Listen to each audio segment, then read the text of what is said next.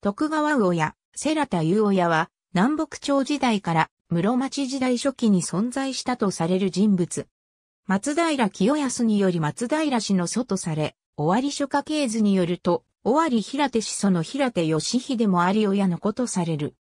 東照宮五味記、系図産業によると、世良田義樹から七代目の子孫にあたり、徳川親木の子とされる。万那自身でも足利両家系図では父、親木は新田義宗の子で、徳川正義の養子とし、世良田光義の末裔と伝えている。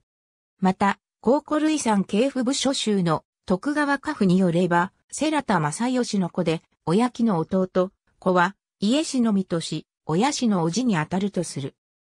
万那寺系図によると、父、親木が、鎌倉久保、足利光金から上野国神殿郡徳川里に領地を与えられており、優親はこの恩に報いるため、影響の乱で、この親氏と足利持氏方についたという。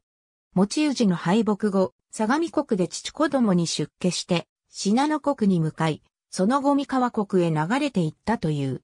徳川諸家系府では、三河国愛知郡、一柳省、嵐小村に住んだとする。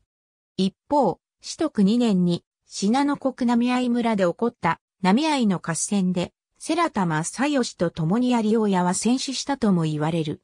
徳川家父では、応永14年に出家しており、同31年、弟聖満の子、正親、叔父の義明と共に戦死したとする。藤沢寺木によれば、優親は波合で戦死せず、同族の脇谷義春、吉高不死と共に、一旦大雨に逃れ、幕府方の戦策から逃れるために出家したという。一方で、藤沢の正常、三寺三内の部材天社は、優親が自修像であった時に誕生したもので、その後現続して徳川家を起こしたと案内されており、順番が逆になっている。